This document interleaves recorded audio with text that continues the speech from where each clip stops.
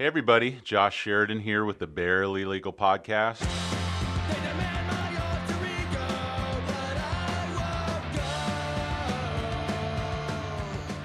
Today on the show, we have Guido Maniscalco, local politician, political figure, political giant. Uh, we're lucky enough to have him come in today and uh, talk with us about his history and what he's doing here in Tampa and the future of uh, our good city looks like today. How are you doing, Guido? Great. How are you? Good. Thank you for coming in. This is the earliest podcast I've ever done, so you hold that record. Um, how you doing?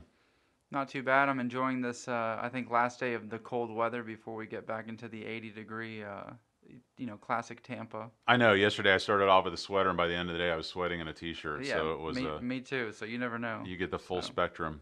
Um, are you from Tampa originally? Yep, born and raised. And did, where'd you go to school? I went to uh, as a kid Christ the King. I went oh, really? to uh, That's where my daughter goes. Okay. Yeah. So uh, I was there for a couple of years, then um, transferred to St. John's Greek Orthodox. So Okay. people know the Greek Festival there on Swan Avenue. Right. Uh, started at Jesuit High School, but then transferred to Tampa Catholic, graduated there, and then did the the rounds. So a year at University of Tampa, a couple years at HCC, and then finally graduated from USF. So wow, man, you the- you I've done it done it all locally. you must be hit up big time for uh, contributions from alumni. You've got about ten different schools there. You got. sometimes, sometimes. Yeah, well, that's great though. You have a breadth of experience. Oh yeah. Uh, and so, right out of college, did you get into politics, or, or did you have a few no. stops on the way? I um, I took the LSAT. I Oh, was really? applying to go to law school. Uh, my best friend and I at the time, we did everything together. He even went up to uh, Michigan to Thomas Cooley before they opened the campus down here. Um, he found, he said, I got the perfect apartment, the perfect place, the perfect, you know, we had this whole thing planned where we would encourage each other to, um, you know, to get through law school. He's very, he's a, he's a genius.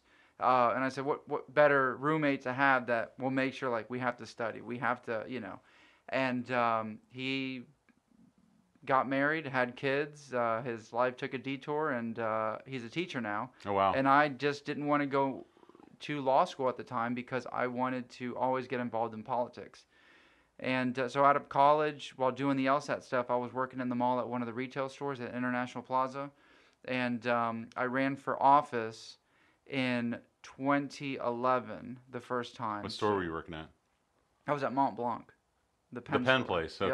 Okay. So, yeah, uh, someone had quit. I had applied. The timing was just right. I graduated uh, USF a week after, so that was interesting. And actually, the day I graduated, I had a, I have an English degree.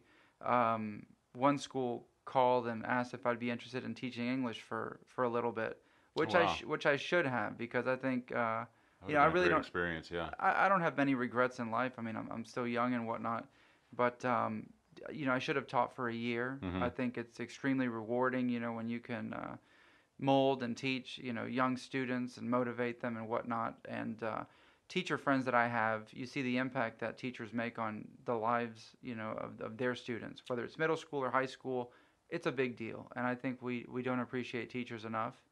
Uh, and so if I could, you know, if I could go back, I'd teach for a year, and um, you know, and, and get that experience. Both my parents were teachers, so I grew up in that household, and I saw the, you know, there's the principled side of it, like you're talking about, you know, the good of it, but then there's the dark side of it. I got to see a lot of uh, uh, Thursday afternoon happy hours with the teachers, and kind of got an inside view into, you know, Well, I mean, I hear stories now, and it's you know that that same best friend that wanted to go to law school. He's he's a teacher at like a grade F, grade D school, and he tells me the parent teacher conferences. You never know Oh, what to worst part, expect, yeah. and and you know how the administration there encourages him. You know, give him a high five as the students walk into class.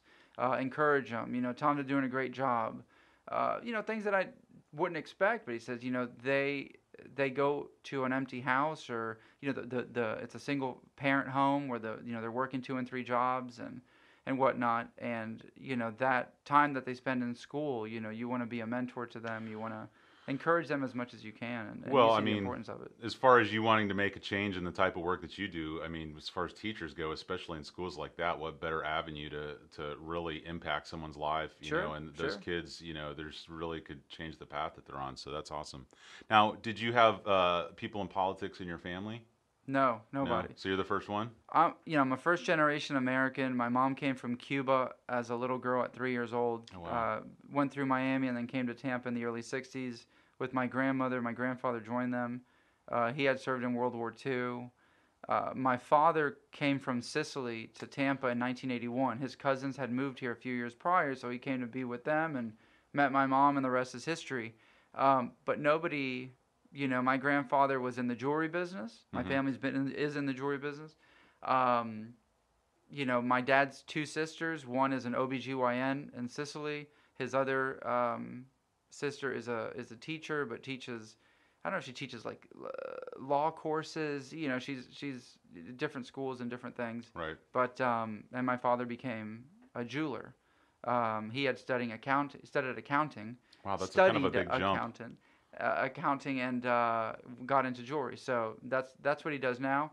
Um, but no, I don't think anybody's had ever political ambitions. We weren't politically involved um, because of my you know my grandfather years ago. They knew a lot of people. A lot of people have since passed away.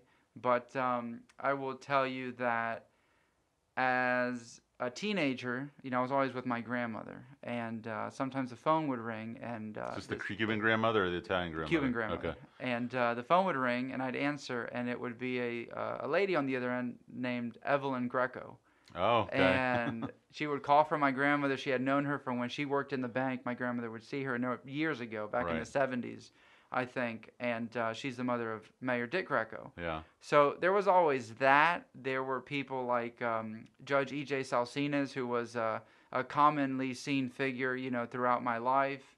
Um, who else? Sandy Friedman, Uh-huh. you know, here and there, my grandmother would support her campaigns back in the in the '90s, late '80s, and whatnot. Governor Bob Martinez was someone that my family knew back in the '80s Wow. and '90s. Uh, so they were they were there, and how my father raised me was you know, you always show respect. And it would be, they were very good friends with this judge, uh, Mhm. Vince Giglio was his name, who passed away about 10 years ago, so a little over 10 years. And he married my parents in this legal thing, you know, in the backyard of my grandfather's house. Uh, we traveled to Italy together, you know, always good friends. But my father always made sure to never not address him as judge, whether he was retired or not, it was judge. Um, we were friends with a, uh, a two-star general named Frank Regano, uh, who's 90 years old now, and it was always the general. Related to the attorneys? No, No? no, no, no, no, Oh, no, no, no. But um, you know, it was always the general. Make sure the general. And I remember I finally met Dick Greco uh, in Ybor City in Centennial Park when I was maybe 12 or 13 years old, and I had never really met. You know, I was a kid. I never met anybody famous and you know important, Right. other than oh, this is so and so, so you know, the family friend or your father's friend or your grandfather's friend. And it was you want to meet the mayor, the mayor. And I remember Greco was in a black overcoat, hmm and I met this guy because I'm you know I'm 13 years old, 12 He's a years trip, old. too. I just met him recently for the first time. But you know the mayor, the mayor, is such a big deal, and you know this like first person of, of, of you know a famous person. You know he's he's he's the mayor of the town, and um, I met him, and I I would hear about his charisma, this natural charisma that the that he had, and I asked my mother, again a 13 year old kid, I go what's what's the big deal? And Mhm. she says, when he talks to you, he makes you feel like you're the only person in the room, and he invades your.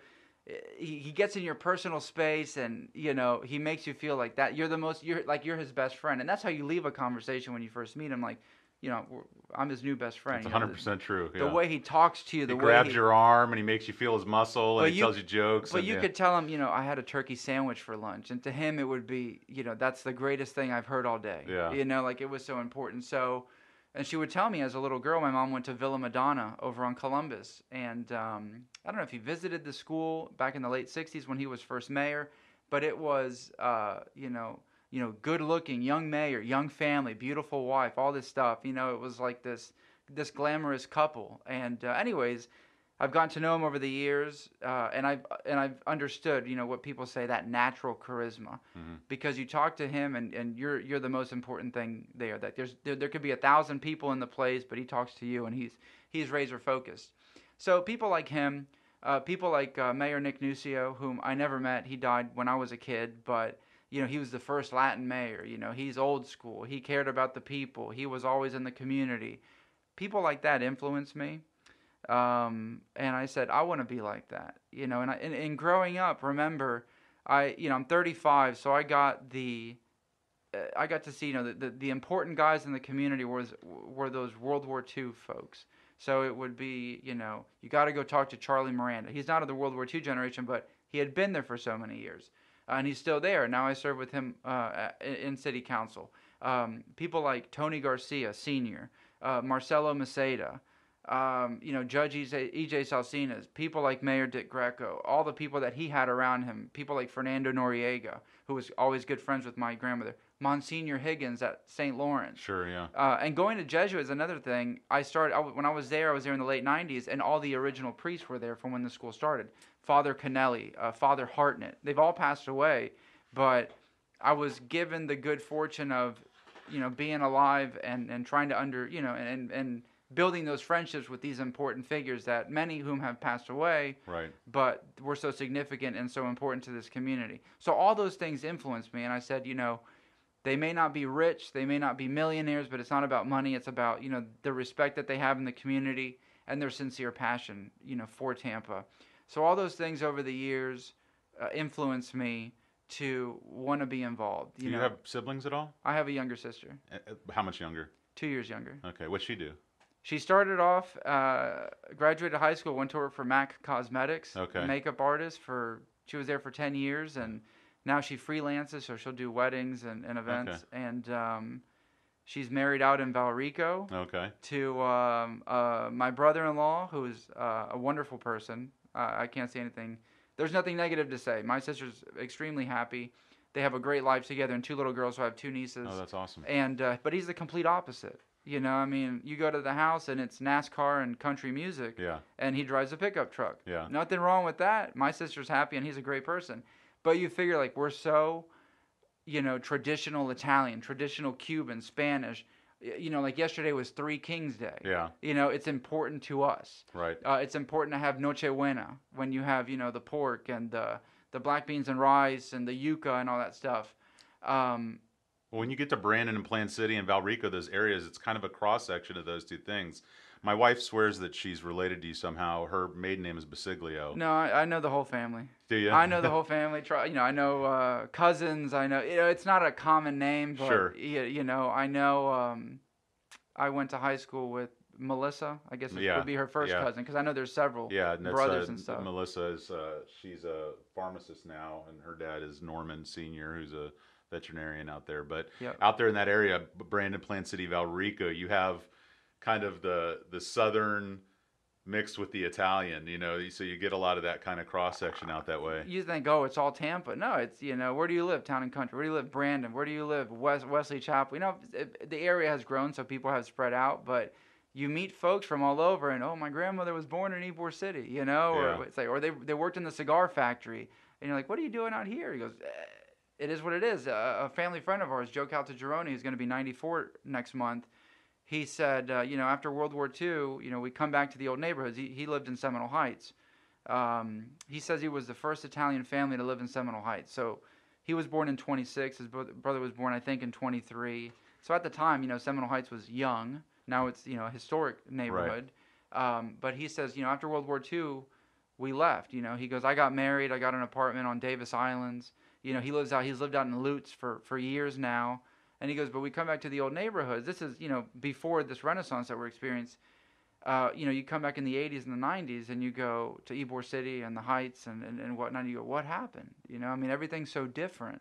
Not because the interstate came through and whatnot. He goes, but, you know, we left after the war and, and, and in the 1950s and, and how so much changed. We moved out to, oh, we want to, you know, we get a bigger house and, and more land out in, in, in Brandon and Lutz and whatever. So people spread out. Now they come back to the neighborhood, and now there's there's a new generation of folks that that have invested for the last several decades in these neighborhoods, and they've come back in such a way that I mean, like we're in Tampa Heights now.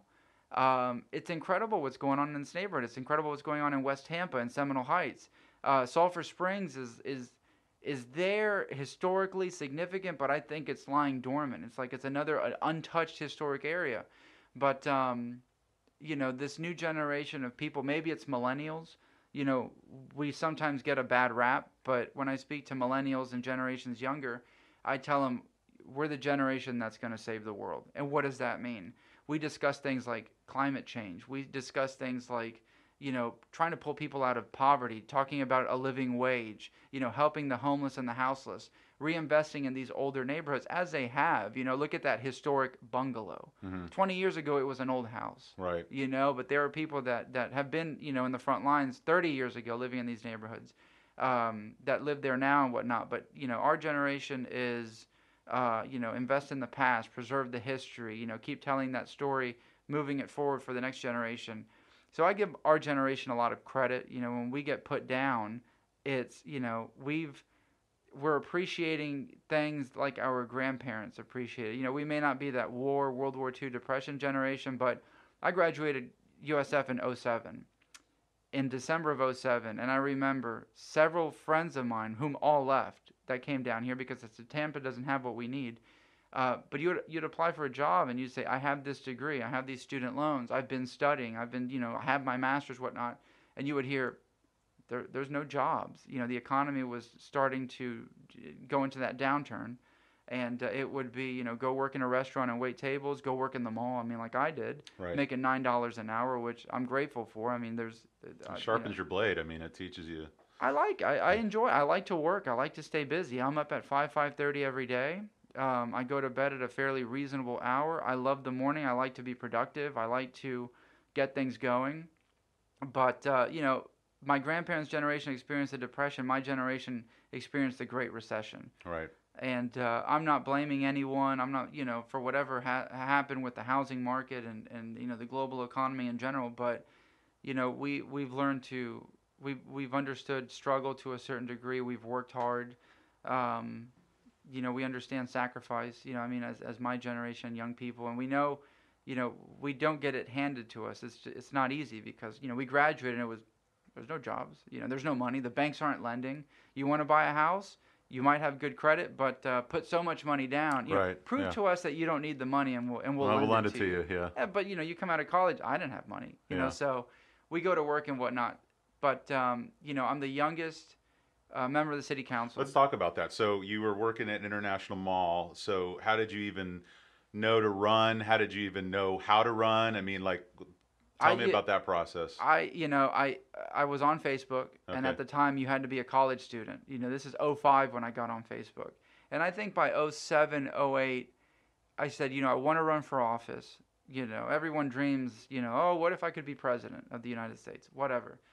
But uh, I wanted to start small, and I like being, you know, in the municipal government, you know, in, in that arena, because, you know, the president can do whatever. The governor can sign whatever. Your con- member of Congress, your congressman, your congressman or woman can do whatever. But if your trash doesn't get picked up, your recycling is missed, you have potholes, you have flooding in your street, those are things that affect you locally and something that the city or the county, you know, again locally would uh, would help you with. You know, so uh, whatever can happen on the larger scale, but what happens locally, you know, can affect you the most. Well, funny, funny. So funny story about that is uh, 2016. I was in. Well, I'm still in therapy, but 2016 I was in therapy, and I was pretty uh, focused on the election. I was listening to hours and hours of podcasts. I was watching every news channel I could, and I was talking to my therapist, and she was she was like, "How much do you really think this election's going to affect you on a personal level?"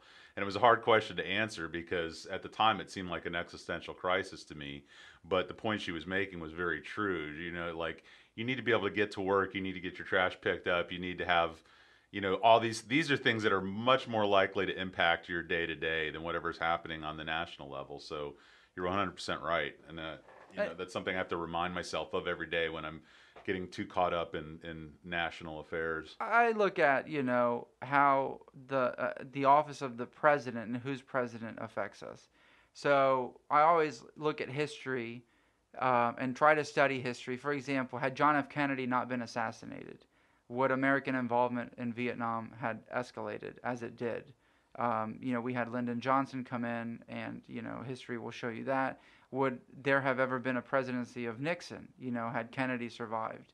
Um, had um, had Al Gore won the 2000 election, would Barack Obama, as president of the United States, even have existed because I think whomever won that election, 9/11 was going to happen, the economy was going to hurt, and by the time the 08 elections would have, you know, come around, The other party would. it would have been, you know, oh, the Democrats have ruined everything. You got to get a Republican in there, and we could have had a President McCain or President Romney or whatever, um, and and you wouldn't have had that historical significance of having Barack Obama. Sure. Um, and in that, you know, would you have had a Hillary Clinton? Would you have had, you know, would we have a Trump now? So it's interesting to see, you know, the death of a president in 1963, how the elections went, because I think Florida was the deciding factor with the Electoral College, uh, or the however it was, I don't remember in 2000, um, how things would be different historically, and and how we look at everything happens for a reason, and everything is it goes back to fate, and it's you know our destiny is already written, blah blah blah blah blah. Uh, you don't know. So, anyways, that's that's getting beyond you know on the national level, but at the local level um, all these things that I've mentioned, you know, will affect you. Um, whoever gets elected mayor, because there's the mayor has so much authority. We have a strong mayor form of government, but at the same time, we have seven city council members that can um, override a veto should the mayor veto something uh, with five out of the seven votes, which we call a supermajority. Uh, we haven't had to use that, but for example, people will say, you know, what is city council? I remember one gentleman told me back in 2010, you're just a glorified zoning board. And I said, you could look at it like that, or you could look at it as we approve the, the budget that the mayor proposes. You know, if there's a, a budget that, that we don't agree with, I mean, we can fight that. It's not just, I'm going to vote against it. If enough of your colleagues uh, choose to vote against that budget, you know, now you're putting, you know, the city in, in, a, in, a, in a different set of circumstances. Um, we had a uh, contentious budget a couple years ago because it was to raise the millage rate for the first time since the 1980s. And uh, the reason was so many factors. One of them was there was an, an additional homestead exemption that was on the ballot that people assumed uh, would pass and it did not pass. Uh, that would have been a, a multi million dollar hit to the city's coffers, to our budget. Um, thankfully, it did not pass. Um, but in that, uh, the All For transportation sales tax passed with an overwhelming majority. The school sales tax passed um, you know, with an overwhelming majority. So it was a, a perfect storm of, of, you know, it was to our benefit. That homestead exemption would have been very detrimental to us. But then again, it would have affected us as council to make budget decisions, the mayor as well, what to cut, what not to include, what uh, projects to uh, to delay. You know, whether it's an investment in a park, um, fixing docks in a park, um, you know, restoring a park, fixing our roads, whatever it is. So, you know, all that has a major effect.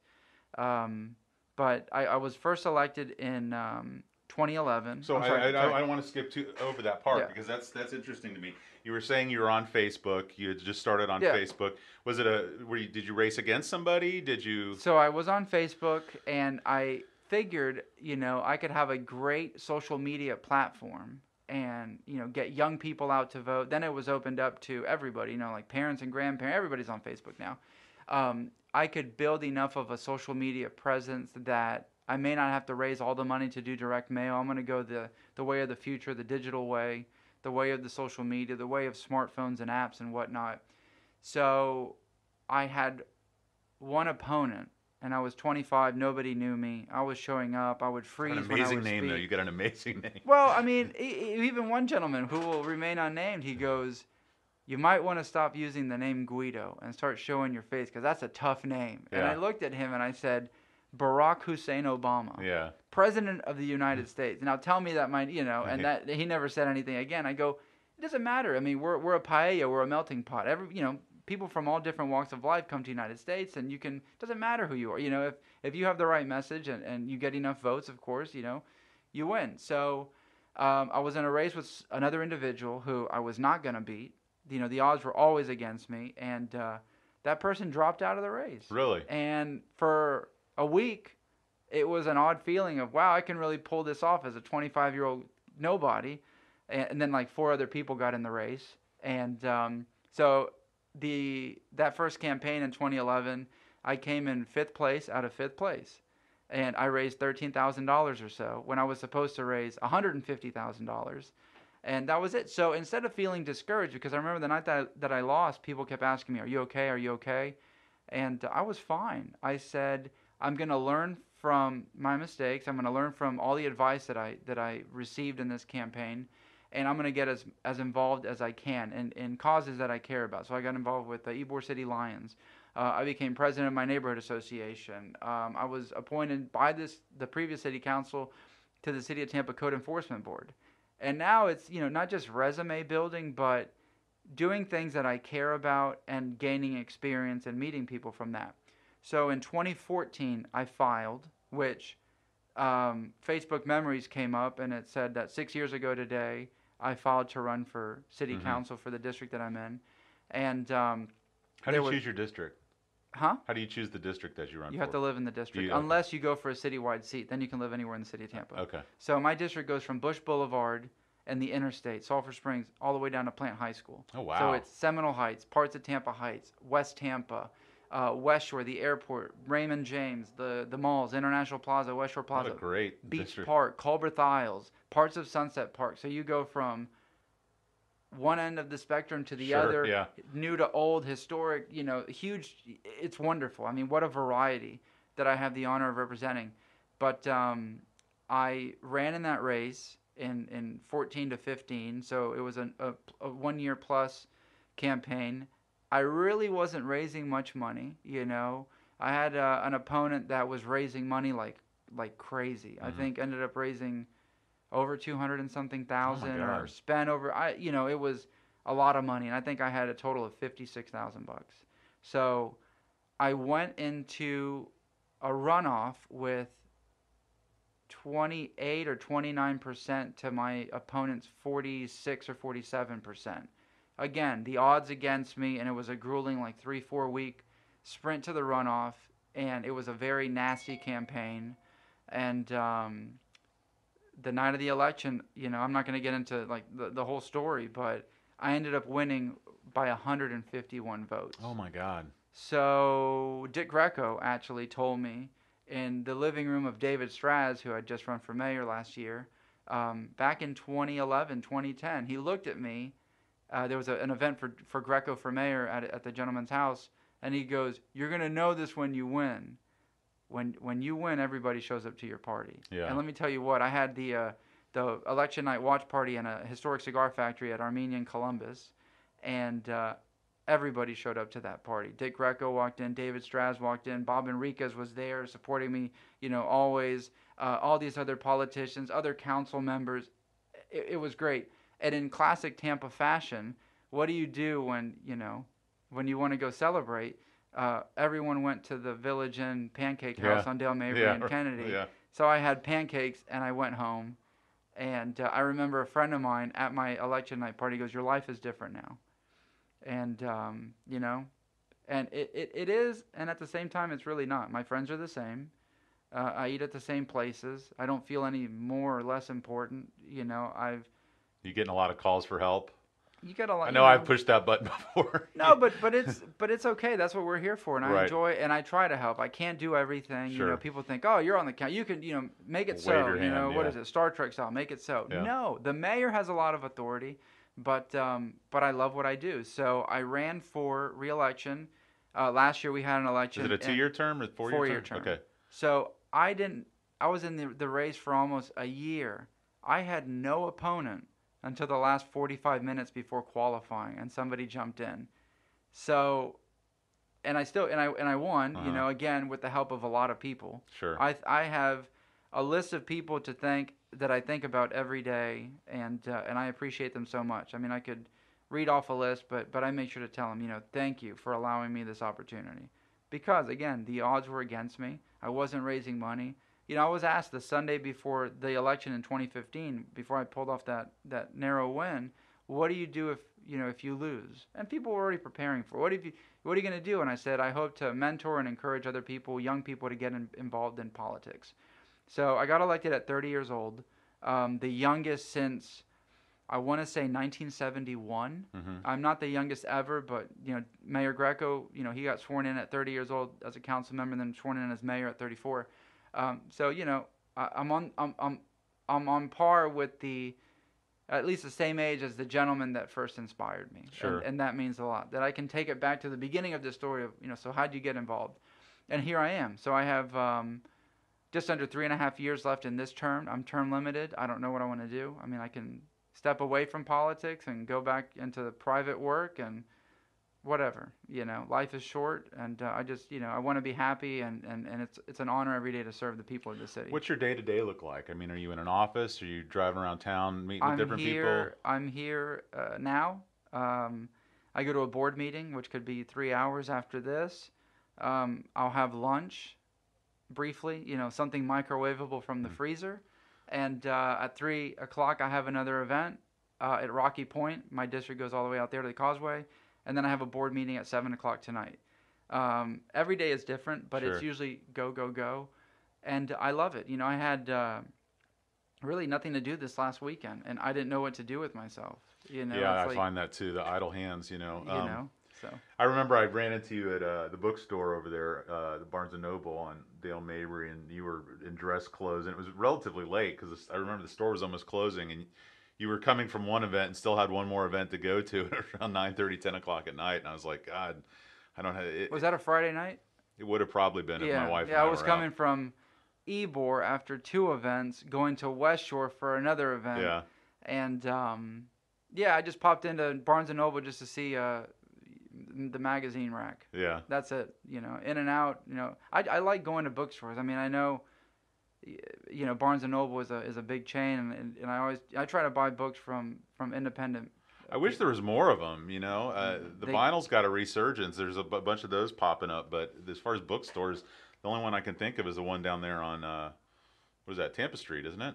No, it's gone. It's gone. The old Tampa book. Right across from the French place. It's gone. Oh, is it? I didn't know that was gone. And that was that was I, I would find books that I couldn't get on Amazon or Sure. eBay or they were cheaper than, than everybody else. And How I'd rather support gone?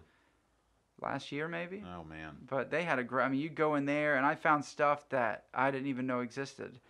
So My wife's a big uh, ballet fan, and I tell everybody she's got the biggest collection of ballet books probably than any yeah, any theater, any bookstore, any library. Because you know, you go anywhere, you can find two or three of them. She's got hundreds of them, and she picked up so many rarities just walking in there. You my know. my mother loves ballet. Um, uh, I believe she she has pictures with or she I know she met Baryshnikov. He came to Tampa for something. He had a signing somewhere, and um, I believe she saw uh, Rudolf Nureyev.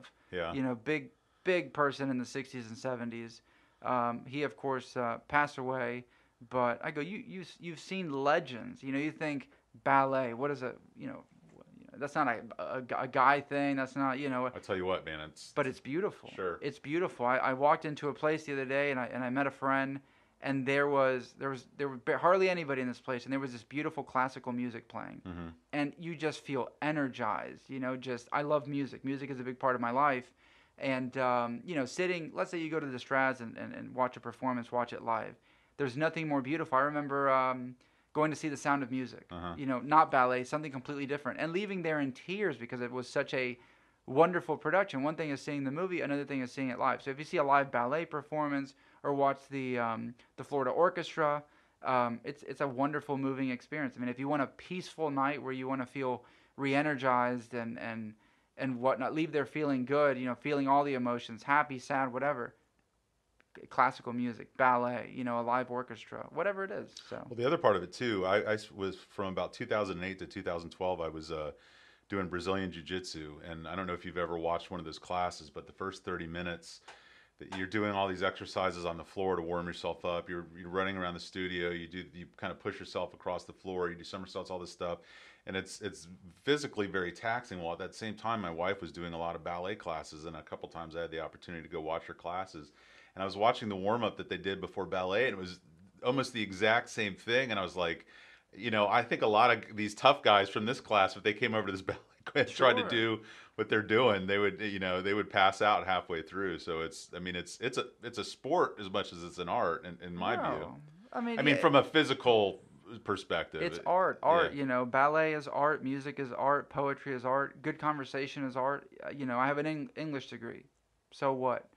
You know, you read a lot, you write a lot. I read a lot of poetry. I read a lot of books, and um, there's a beauty in, in, in, in language. There's a beauty in you know, it's all around us, and we have to see it and embrace it. Not just you know, oh, art is painting. right. you know, or photography. Art is is everywhere. So um, you just have to, you know, appreciate all that life has to offer because it's it's all around us. Now you said uh, you traveled back to Italy. Uh, you've gone back there several times. Once. I went twice last year. My grandmother still lives there in a little town in Sicily, about uh, 2,500 people or so. So imagine What's the town called? Alessandria della Rocca. Okay. So um, my father made sure to raise my sister and I speaking Italian, so I'm fluent in Italian. Are you really? I'm fluent in Spanish. I study French on a daily basis, which you know, if I if I flew to France, I could get around Sure. to a certain degree. Um, German, not so much. I, I flew through Frankfurt and I had a layover there when I went to Italy last year, and I was completely. I didn't even want to leave my hotel. I'm Sure. like, if I get stuck, you know. But enough people spoke English. But um, my grandmother lives in that town. My dad's two sisters live in Sicily. I have cousins in northern Italy in Bologna. Uh, I believe I still I had a great uncle in Florence who passed away. My grandfather's brother. Florence is my favorite. I love Florence. It's it's I haven't been in so many years. I mean, generally I fly through Milan. Uh-huh. I'll spend time there and then fly into Palermo, Sicily, and then it's a two and a half hour car ride or bus ride to my grandmother's front door. Um, I have family in Switzerland. I have family in London. I have family. I have my cousin in uh, in Venice. I talked to him yesterday. We meet. Uh, our grandfathers on my mother's side, the one that he went from Sicily to Cuba after World War II. oh wow. So we we meet. Uh, we've met a couple of times. You know, if I'm in Milan, he'll fly up. We'll have dinner. Um, it's just you know, but but I embrace the culture. I embrace my roots. I embrace what my family taught me. But again, you know, uh, French is a language I've studied for several years. Have you been to France? I've been to Paris, Okay. but I haven't explored. I've always wanted to go to the south of France, uh, see the French Riviera. Um, you know, just just explore uh, small town. Now that I can speak a little more, I mean, I can sure. I can yeah. read a lot. I can, for you. yeah, it's you know, and a lot of people speak English over there, Mhm. and they'll say, "Oh, the French look down on Americans." No, if you make an attempt to speak, I'm, I you was show respect, they'll respect you. I was treated completely different. You know, I would even ask them, you know, do you speak English because my French is, you know, not so great, and they were very accommodating. I found and of that course, too. what did I do in Paris? You know, the first time I went, I had this layover in connecting to uh, Italy, and I went to uh, Père Lachaise Cemetery. I'm into cemeteries and history and old buildings, and who's there? Jim Morrison. Oh wow. And yeah. uh, I said I have to pay my respects to uh, someone's music that I've loved since I was a teenager. And in that same cemetery is uh, Oscar Wilde, oh wow. and whose whose uh, whose uh, crypt or mausoleum, it's a weird sculpture, was covered in lipstick. oh really? Now they have a, a plastic barrier. Then there's Edith Piaf, you know, very Mhm. famous uh, uh, Wow. female French singer. So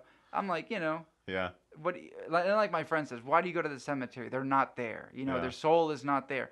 But you're, you know, you're whatever, and and It's a touchstone to think about them. It's Yeah. something, and, and and what's interesting with Jim Morrison is, I believe that cemetery is the number four most visited spot in Paris, and he has like 24 hour security. There's a fence around his. Uh, his tomb because people have they, there was a bust on his grave of him of, of Morrison and it was stolen and people you know write all over the, the, the grave marker and whatnot but um you know it was nice I mean Paris He had a history here locally. He went through St. Pete. Uh, something like that yeah. Jack Kerouac, Jack had, had- had a house there which is still there yeah. um, and then you hear a lot of like Tampa local stories. You know, the Yankees, um, you know, baseball players through the years. Uh, Babe Ruth hitting his longest home run at the University of Tampa. Um, John Prine lives over in Gulfport. that was just yeah, struck me as it- another- I think the lead singer of ACDC lives uh, in Sarasota. yeah, Uh, what is it, Brian Johnson? yeah. I, I want to say Bon Scott, but you No, know, yeah, he's the Brian original Johnson, from yeah. years ago. Um, a lot of celebrities come through Tampa that you don't expect. I was at the Oxford Exchange one day and I kept hearing, uh, "There's a big, there's a big movie star in here. There's a big movie," star. and I'm looking for Tom Cruise, Brad Pitt, Leonardo DiCaprio, you know, Sandra Bullock, somebody. And I'm sitting at the, the great center table that Yeah, they the have, long this- table. the long table, and I notice this woman, very very fair skin, with a big hat, and two guys with her, and I'm there having coffee, playing on my phone like I usually do, and she walks out and she leaves, and I go, so who's the famous movie star? She goes, you were in front of her the whole time, and it was Tilda Swinton, Oh my gosh. who I go, who, who is Tilda Swinton? And I look and I go, ah, curious case of uh, Benjamin Button. Benjamin Button. And- you know, there she is, and you know, she's there's a scene where they're in in Russia, I think, together, and they're they keep meeting in the middle of the night in this hotel, and I go, here she is, the the woman that taught Benjamin Button how to had to eat caviar and drink vodka, and you know that that's how Yeah. the scene was. And I liked, I love that movie. So I'm going, oh, okay. And then she was like the, the the the the, the queen or the the did she something in Narnia or I, I, don't know.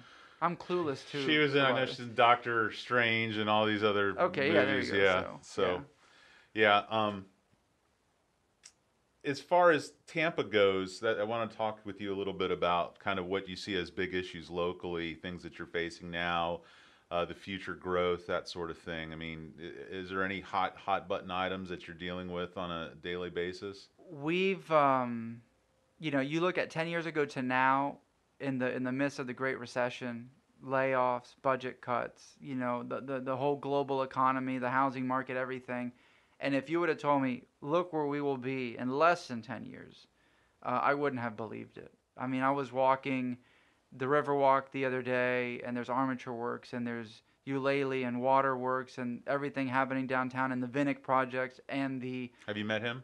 Vinik Yeah. I've shaken his hand. Yeah. Okay. Um, he speaks at an event I'm going to be at this weekend. You know, but I've been close to him, but I've never really had conversations What's it, how, how did he get in here? I mean, he's not from here. no, I think he's from the Boston area. Yeah. Um, he wanted a hockey team. He bought the Lightning. Um, and then in that, you know, he's Just down here with all the development down in that area. Which the is- potential. it's crazy. So, in in these last ten years, we've had over fifty five thousand new people come to Tampa. You know, someone asked you the day, goes, "Oh, when you go to the grocery store, when you go to the you know the armature works, when you go to the mall, do you get stopped all the time?" And I go, "I don't recognize anybody. Yeah. There's so many new people, and you meet them, and they'll say, "Oh, I've been here six months. I live in the apartments across the street. Oh, I got here in 2016. Oh, I got married and relocated here. Blah blah blah blah blah." But you don't really meet a lot of those Tampa natives. Now, if Yeah. you go into West Tampa, into the you know the old older neighborhoods and whatnot, you go to the coffee shops. You know, they're all they're all there. But um, we've had this. You know, I graduated USF at the end of 07, and all my friends that moved down here left. They all went back home except that one best friend who lives in Vero Beach. Uh, so at least he's within reasonable distance. But they said Tampa doesn't have what I need beyond jobs. It just you know it wasn't happening at the time, and um, now some of them have said I got to come back to Tampa to see what's going on. Or my favorite was uh, my friend who visited after being gone for years said I'm sorry that I left. I want to take my kids to this park and walk my dog here and but I like that. I'm sorry that I left. I said you had to stick it out. I stuck it out. You know, I, I say I'm born, raised, and educated here. I never left to go to. I didn't go to Michigan to go to law school. I've always been here through the good and the bad. So things are good now. But me, who waits for the other shoe to drop, who I was told the other day, you're scared to be happy, and I go, no, I overthink everything in preparation for whatever's Scared to be happy. me. That's a I, you know, I'm happy, and then Yeah. I and then I'm, I'm awake at night. I'm going, what can I overthink tonight? sure. Yeah. But you know, things are good now. I don't know if there's another recession coming. I don't know if the housing market's gonna. I hear these things. Give it another two years. Give it another year. Give it another six months. You know, oh, now we could be going to war with another country, whatever. Which that drives the price of oil up, the price of gold up. Things that aren't going to affect us, but people will hold on to their money. If Sure. there's if there's you know a market crash or or a drop or uh, the government's shut down, people are more careful with how they spend. So Tampa had several issues. Um, you know, all for transportation was that sales tax referendum that passed. That is now you know up in the air because of litigation. Um, I, I openly endorsed that and supported that. Why? Because it's an investment in this community of bringing, uh, uh, you know, rail alternative methods of transportation here, expanding our streetcar system, uh, paving our roads, fixing our roads, building our sidewalks, things that we need. It's not, you know, we're building a baseball stadium, which that's not something that I, I think, you know, tax dollars should go to. I think, you know, if you're going to, you know, tax the public or raise the taxes, whatever, it should go to investments. Um, the school sales tax uh, pass, and that's 10 years, that's half a percent, but that goes to schools that, you know, they need new air conditioning. They don't have air conditioning, whatever it is, you know, crumbling infrastructure. I, I put it all in that. Um, we have people moving here, people investing here. The real estate market is hot.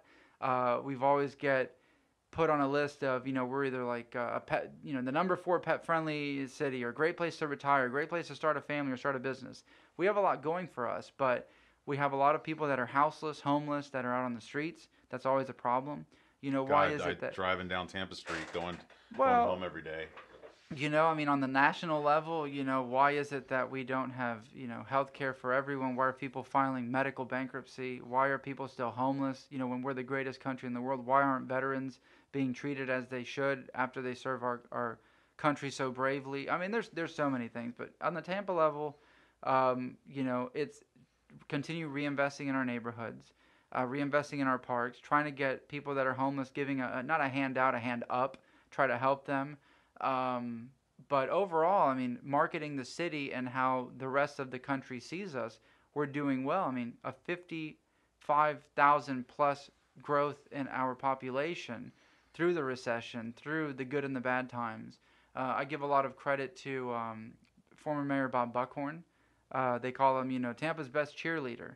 Uh, he he, you know, he worked very hard. He was very careful in his planning, and uh, I think he had a successful eight-year run. Now we go into the administration of Mayor Jane Castor, who uh, wants to continue building bridges. Um, she's she, you know, her the door is open, the line of communication is open. She's got a wonderful chief of staff.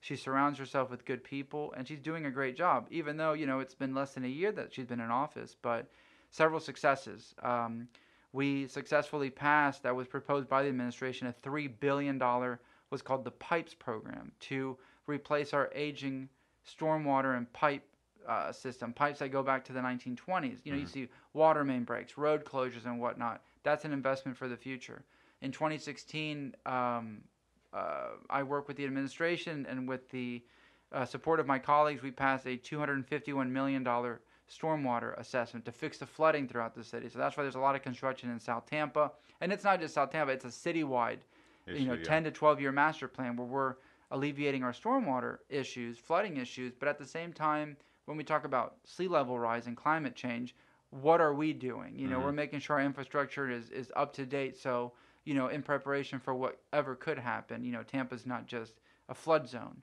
You know, we're actually making the necessary investments in our infrastructure to make sure that we're prepared. Um, but we're taking the necessary steps, I think, and we're investing in, in what's needed. You know, uh, the wants and the needs, we're going with the needs of the community. Sure. And that's where we stand. Well, I, I just, uh, you know, moving into this neighborhood two years ago has been such a great experience for me because it's kind of illuminated a whole other part of Tampa that I never had much opportunity uh, to come to. I mean, I had been to the Seminole Heights when they kind of had their renaissance of restaurants there, but uh, the neighborhood is just very tight knit. You know, I'm on all these different Facebook groups, and everybody seems to know each other and heavily involved. You know, I talked to Justin Ricky across the street, and he's yeah. very involved, and Ray Roa yeah. from Creative Loafing, and I mean, they're such cheerleaders for this neighborhood, and uh, you know, it seems like Tampa's growth is going to be north of Kennedy. You look at Julian uh, Lane Park and all this oh, stuff yeah. that's happening. It's just kind of amazing where it's headed. You you know you mentioned two great people, Ray and and and Justin. Uh, Justin extremely involved, you know, um, and the people around him, uh, other people in the community with him. Um, you know, I got elected, and one of my my my first major vote was in June. I got elected a few months earlier, and it was for TBX and the widening of the interstate to put these express toll lanes, basically doubling the, the, the width or the footprint of the existing interstate. The interstate goes right through Seminole Heights, right through West Tampa. And I was the only no vote on that because I, you know, I believed in the neighborhoods. I didn't believe in, you know, keep widening roads to accommodate cars to do what? You know, you're not solving the problem. So in that, I met uh, so many wonderful people that are great friends today, and they're, like you said, their passion Seminole Heights, for example, in Tampa Heights, it's it's tight knit, but it's safe. You know, you can walk through that neighborhood at night, walking your dog, whatever, and you're going to meet friendly faces, and you're going to feel safe because you know you you are safe and you're surrounded by good people, people that have invested so heavily in the neighborhood.